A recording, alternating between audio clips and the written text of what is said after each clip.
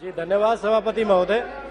आपने मुझे अपनी लोकसभा के लिए नियम तीन के अधीन सूचना पढ़ने का अवसर दिया।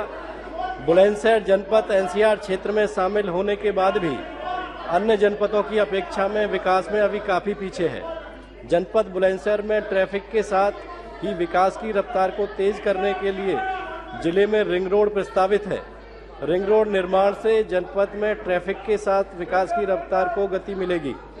बुलंदशहर में रिंग रोड नहीं होने के कारण शहर जाम की समस्या से काफ़ी समय से झेल रहा है।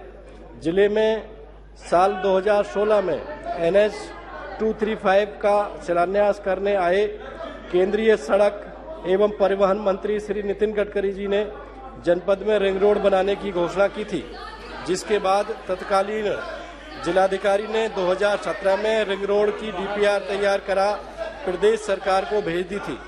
प्रदेश सरकार की अनापत्ति मिलने के बाद डीपीआर केंद्र सरकार के पास लंबित है।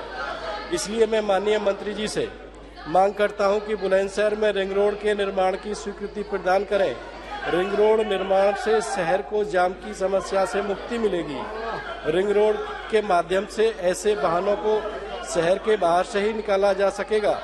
जिन्हें दूर जाना है और शहर में प्रवेश नहीं करना है। धन्यवाद।